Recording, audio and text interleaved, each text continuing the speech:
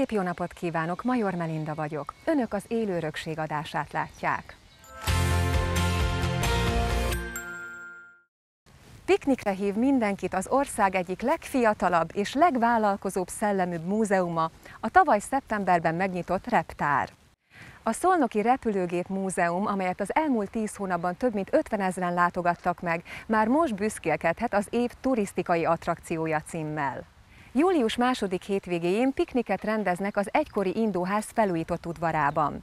Megmutatjuk, mire számíthat az, aki ellátogat a reptárba. Fly me to the moon, let me play among the stars. Let me see what spring is like on. Volt egyszer egy Pest-Szolnok vasútvonal, Magyarország második vasútvonala, és íme az egyik legrégibb állomás, az Ószolnoki. 1847. szeptemberében adták át a forgalomnak. Udvara közepén áll a vízház, amelyet 1850-ben építettek hozzá. Ez ma iroda és volt egyszer egy szandaszőlősi repülőgép múzeum, amelyet 2015-ben bezártak, közönsége nem kis bánatára. És hogy mi köze a kettőnek egymáshoz? A szálak Brüsszelbe vezetnek. Szolnokon, Szandaszőlősön, a helikopterbázis mellett ez a múzeum nagyon látogatott volt, nagyon népszerű volt, és, de már kinőtte a helyét. És Szolnokon létezett ez a 170 éves indóházi terület, most egy műemlékterületen vagyunk, és ennek nem volt funkciója. És amikor a város pályázott, egy Európai Uniós pályázatból valósítottuk meg ennek a műemlék együttesnek a felújítását, akkor a funkciója a Reptár repülőmúzeum elhelyezése lett, és azt gondolom, hogy igazán méltó körülmények közé kerültek a repülőgépek. Az egykori Indóház hatalmas területén különböző múzeumi funkciókat találnak a látogatók. 60 ezer négyzetméteren terül el a múzeum, ugye a főépület a 170 éves Indóház, ahol még Kossuth és Széchenyi is mondott beszédet az 1800-as években, illetve egy modern hangár, ami 4500 négyzetméteren terül el, és a, azon kívül, hogy a szabadtéri részen a repülőgépek megtekinthetők, még egy rámpás rakodó épületünk is van, ami egy akadálypályának, illetve egy csúszópályának ad helyet. A gépek mindegyike a magyar légteret hasította egykor, és többségük Szolnokhoz speciálisan is köthető. Olyan gépek kerültek kiállításra, amik vagy repültek itt nálunk, egy kivétellel, ami kint található az udvarunkon, ami kint található az udvarunkon a Morava repülőgép, ami rendőrségi, vízügyi és belügyminisztériumi használatban állt, valamint az országos mentőszolgálat repülte. Az összes többi technikát viszont a honvédség repülte nálunk, de van több gép, aminek szolnoki vonatkozása is van, például a Pokettes repülőgép, amivel itt Szolnokon is vontattak vitorlázó gépeket. Szolnok egyébként az egyik legkomolyabb repülős múltal rendelkező magyar város. Tízes években már volt mit nézni, utána pedig itt is elindult a repülőgépek építése. Lovas Istvánhoz kapcsolódik az első vitorlázógépes repülés is itt Szolnokon, és sajnos lezuhant az István nevű gépével. Akkoriban még úgy vontatták fel a gépeket, hogy egy személyautónak mögé kötötték, és gyakorlatilag föl rántotta a levegőben, azonban sajnos túl gyorsan indult el az autóval a, aki vontatta a gépet, és a gép átesett és lezuhant, Lovas István itt lehet a halálát. Ezek után kicsit meg is állt a repülési kedv, viszont a háborút megelőzően már fölépült itt Szolnokon a repülőtér, amely a mai napig egy aktív repülőtér, az MH86-os helikopterbázis található itt Szolnokon, ahol a mai napig repülnek is a helikopterekkel, valamint most már kiképzőgépekkel is. A múzeum gyűjteményében jelenleg 42 repülőgép van. Van eredeti és replika, van repképes és roncs, esetleg alkatrész. A repülőgépeket több szempont szerint is tudjuk csoportosítani. Most azt a szempontot választanám talán, hogy helyileg elkülönítettük őket. A hangárban tároljuk azokat a repülőgépeket, amik az időjárás viszontagságainak nem szeretnénk, hogy már kitéve legyenek. Itt korai aviatikához kapcsolódó repülőgépek a tízes évektől kezdve a 50-es években készült szovjet gyártású repülőgépek, amiket kiképzőgépként használtak, valamint helikopterek találtak itt a, az átterületünkön. A kinti részen pedig gyakorlatilag felsoroljuk az 1950-es évektől kezdve a 2000-es évekig repült magyar repülőgépek találhatják meg a technikákat, valamint helikopterekben is szinte minden típus már itt megtalálható nálunk, amiket a magyar néphadsereg vagy később a magyar légierő használt. A gyűjtemény egyébként folyamatosan bővül, de nem a gyűjtemény nagysága adja a múzeum igazi értékét, mondják a reptárban. Nagyon különleges a múzeumunk, nem csak hazánkban, hanem közép-kelet-európában is egyedülálló, és ugye itt nem a gyűjtemény nagyságára gondolunk ilyenkor, hanem a, pontosan az interaktivitásra. Mert itt a gyűjteményen kívül megjelennek a VR szemüvegek, amikbe beletekintve megnézhetjük, hogy milyen valójában egy repülőgép belseje, de aki bátrabb, az kipróbálhatja például a MiG-29-es szimulátorunkat, beülhet a 4D moziba, ahol szintén akár egy vadászrepülőgép pilótájaként érezheti magát, vagy akár egy ejtőernyős ugrát is, is végrehajthat.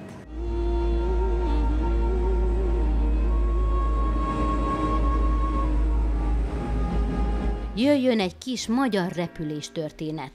Almási László, az angol beteg révén talán legismertebb magyar felfedező és kalandor volt az első magyar pilóta. 1909-ben, amikor a Lamás csatornát korábban átrepülő Blérió is Magyarországon tartott légibemutatót, maga építette vitorlázógépével emelkedett fel és lezuhant. Szerencsére megúszta pár bordatöréssel. Rá egy évre Adorján János már sikeres felszállást, repülést és leszállást hajtott végre a maga építette gépével.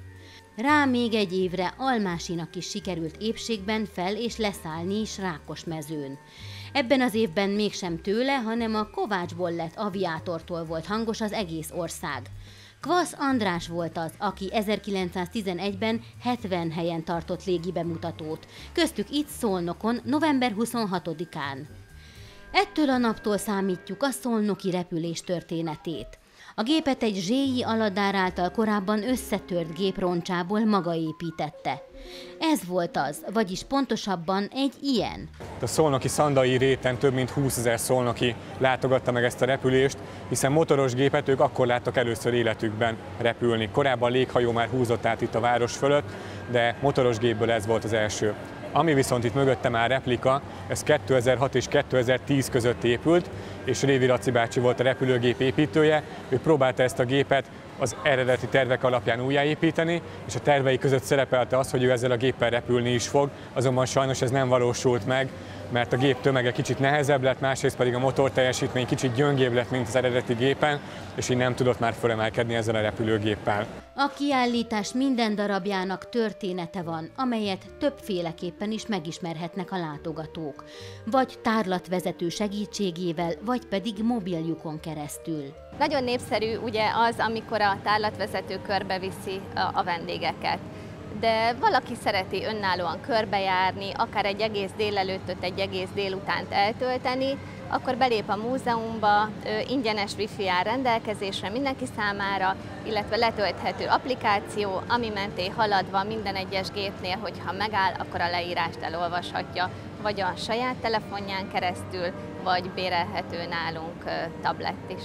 Tamás tárlatvezetőként dolgozik a múzeumban megnyitása óta. Az egészen kicsi gyerekektől a nyugdíjas katonacsoportokig mindenkivel meg kell találnia a hangot.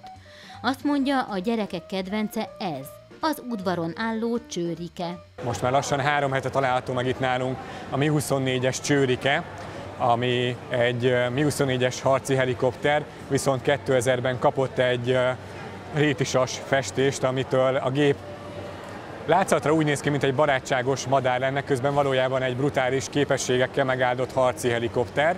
Ő nagy kedvenc, valamint hamarosan érkezik a MiG-29-esünk, ami aki kicsit is hallott már repülésről, vagy szó volt már repülésről beszélgetések során, a MiG-29-es szinte mindig szóba kerül. Egy ikonikus repülőgépe volt a magyar légierőnek, most már kivonták, és most érkezik majd hozzánk ő is ide kiállítási tárgyként.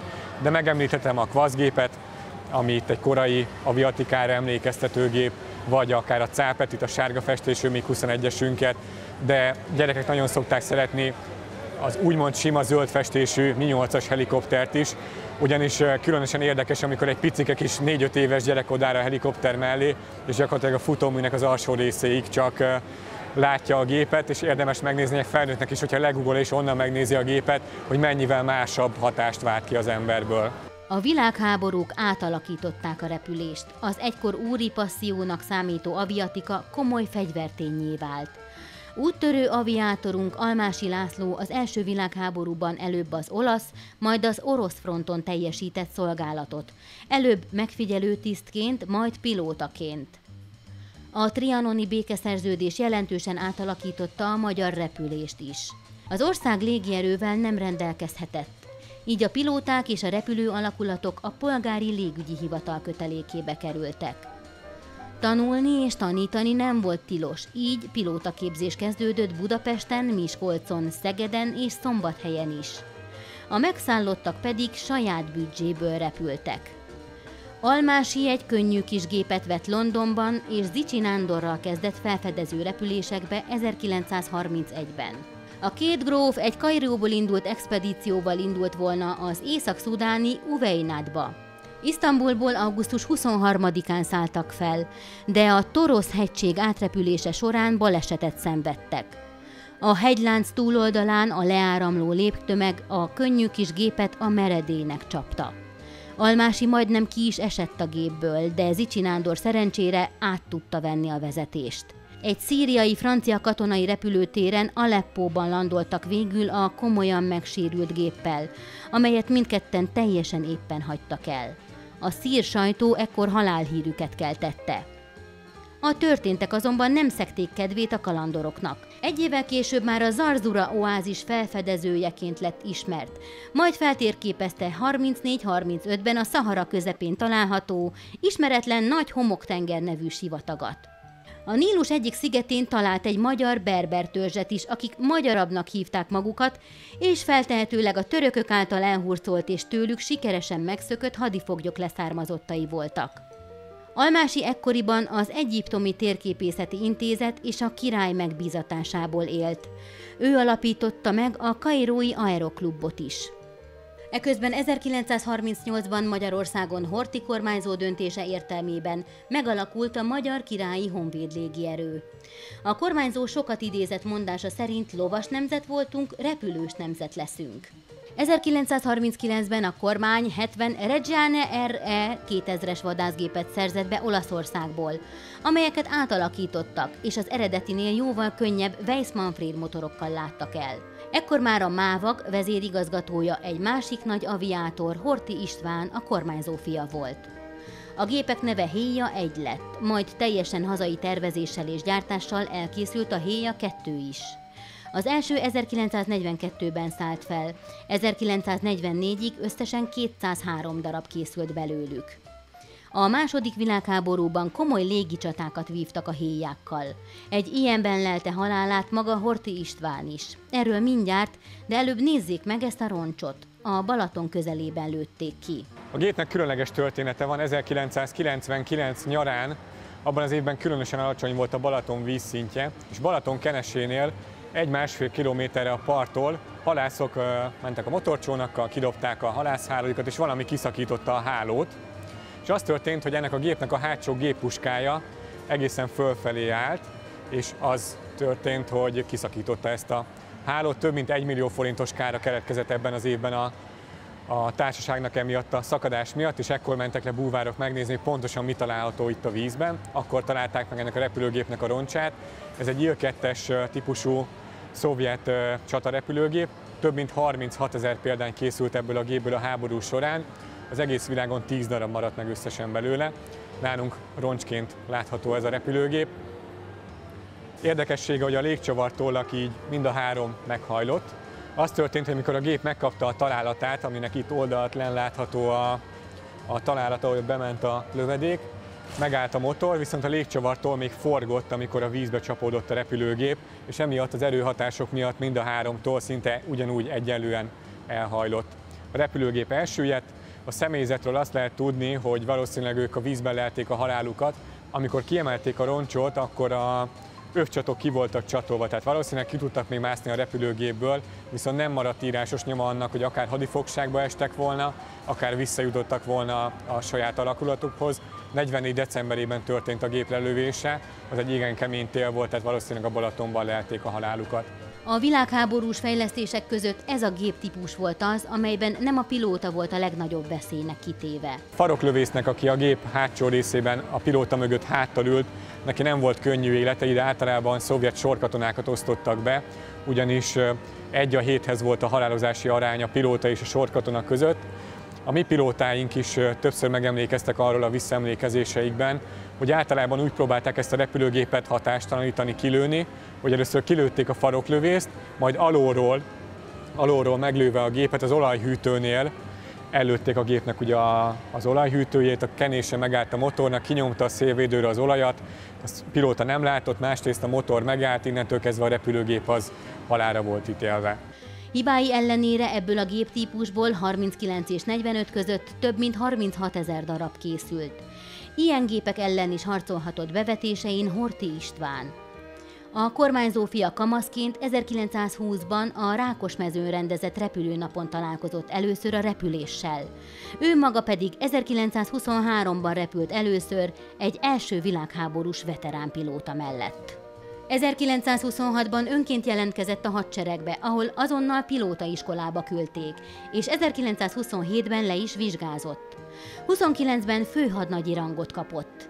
Ekkor már ő a Műegyetem Sportrepülő Egyesületének elnöke is. Az egyetem alaksori műhelyében neki köszönhetően indult meg a repülőgép tervezés és építés. 1928-ban szerzi meg a gépészmérnöki oklevelet. Külföldi tanulmányutak után itthon a közlekedés fejlesztését szorgalmazza. A mávag mérnöke lesz, majd 37-ben már igazgató. A héja egy átalakítása ekkor folyik a gyárban. 38-ban az Aeroszövetség elnökeként megszervezi a civil pilóta előképzést, hogy tehermentesítse a hadsereg pilóta kiképző egységeit. 1939-ben önként vállal szolgálatot rajparancsnokként. A pilóta után képzésért a honvédségen belül is ő lesz a felelős, mikor kinevezik a Horti Miklós repülő alapelnökévé. Mávag vezérként nem ragaszkodott a formalitásokhoz. Mivel csak heti egy utas szállítójárat közlekedett Indiába, nem várta meg azt, hanem maga repült partnereihez tárgyalni. Komoly navigációs műszerek és rádió nélkül négy nap alatt 6500 kilométert repült oda, és három nap alatt 6300-at vissza. Jó pilóta volt. Halálát mégis egy nem megfelelően kivitelezett forduló okozta 25. bevetésén, 1942. augusztus 20-án. Szemtanúk szerint 3-400 méteren dugóhúzóba esett, amelyből kivette ugyan a gépet, de nem tudott már újra felemelkedni, és kis magasságból a földbe csapódott. Emlékművét 43 áprilisában avatták fel. Később habarcsal leöntötték és rejtegetni kellett. Idén nyert végleges elhelyezést itt a múzeum szabadtéri kiállításán. A múzeum eredetileg a fiatal felnőtt korosztályt és a repülős szakmát tervezte megcélozni, de mára igazi családi élményparká változott. Pont ez is volt a célja a reptárnak egyébként, hogy ide került be a, be a városközpontba, hogy minél közelebb hozzuk az emberekhez a repülést. Ugyanis hozzánk, ha egy család elérkezik, akkor ha mondjuk pont már 10 órára nyitásra megérkeznek, akkor délután 3-4-ig a gyerekek vidáman el vannak nálunk.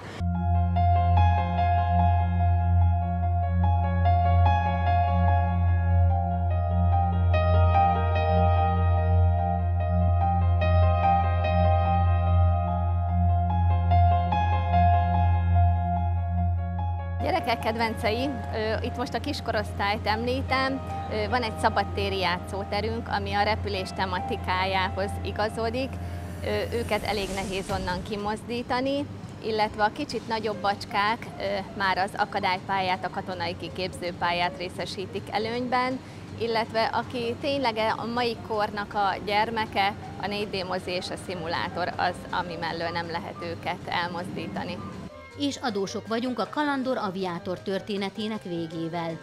Almási László is szolgált a második világháborúban. 41-ben a Rommel vezette Afrika Korps tartalékos tisztje lett. Vaskeresztel jutalmazták szolgálataiért, amelynek birtokában hazatérve sikeresen bújtatott zsidó családokat Bartók Béla úti lakásában, hiszen gyanú felett állt. Almási László 47-ben, miután az Afrika korszban való tevékenysége miatt háborús bűnösnek bélyegezték, elhagyta az országot. Kairóban sportrepülést oktatott és autókat adott, vett. 1951-ben halt meg Salzburgban, kórházban, a műbás vérhas szövődményeiben. Halálos ágyán érte a hír, hogy kinevezték az Egyiptomi Sivatagkutató Intézet igazgatójává. Kvasz, Horti vagy Almási, vagy hozzájuk hasonló megszállottak történetét látva könnyű megfertőződni a repülés szeretetével. A tárlatvezető Tamás maga is gyerekként lett a repülés rabja. Én megfertőzöttem gyermekkoromban, így van, nagyon sok repülőnapra jártunk már családilag, makettezés, modellezés, mindenféle egyebek, és így most egy álmom vált valóra azzal, hogy itt dolgozhatom már a reptárban, mint, mint alkalmazottként, múzeumpedagógusként. És nem csak ő van így ezzel a múzeum dolgozói között. Nóra szintén egész gyerekkorát repülőgépek köztöltötte. És most fiatal felnőttként is ezt teszi itt a reptárban. A családomban ugye több katona is volt, illetve a nagypapám is vadászpilóta volt, jelenleg az anyukám is bent dolgozik itt az MH86 helikopterbázison. Sokszor voltam ugye bent maga ugye a helikopterbázison is, meg ugye repülőnapok is voltak, és akkor is szinte mindig ugye részt vettünk ezeken. Úgyhogy igazából ebbe nőttem fel, és így érdekel a repülőgépek, illetve a közelségében ugye jó itt dolgozni. A 21. században ilyen élményekért érdemes múzeumba menni, vallják a reptárban. Én azt gondolom, hogy ennél fontosabb nem létezik. Úgy megtanulni valamit, úgy átadni a tudást, hogy közben élményeket szerez, ez nem csak pillanatnyi ö, tudást ö, tesz lehetővé számára, hanem azt gondolom, hogy ez mélyen benne marad. És ezt érezzük akkor, amikor ovis csoportok érkeznek hozzánk, amikor általános iskolás osztálykirándulások, hogy a gyerekek tényleg mosolygó arccal és élménnyel mennek, és még a tanárnénik is elégedettek, hogy igen, nem csak játszottak, de tudást is szereztek a diákoknak. És a már említett csodagép, a MiG-29-es is megérkezett a reptárba. Aki kíváncsi a gépre, először piknik kosárral érkezzen. Július 8-án a reptári pikniken nézhetik meg először a MiG-29-est a látogatók.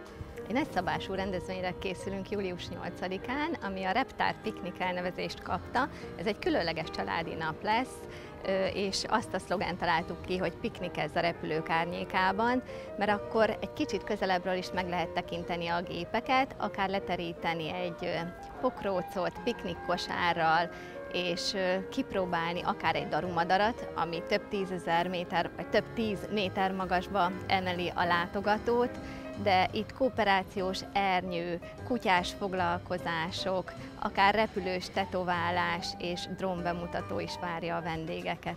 Este pedig a Quimby ad koncertet a repülőgépek között, az első reptári piknik zárásaként. Ékozló angyal a magasban, böffent, nincs baj, nincs haragban, senkivel. Két orba szúgják a fákon a kabócán, hogy láss csodát, láss az er csodát. Láss ezer csodát, láss ezer csodát. Köszönöm a figyelmüket, ez volt az élő örökség. Jövő héten ugyanebben az időpontban várjuk Önöket, addig is kövessenek bennünket az interneten. Viszontlátásra!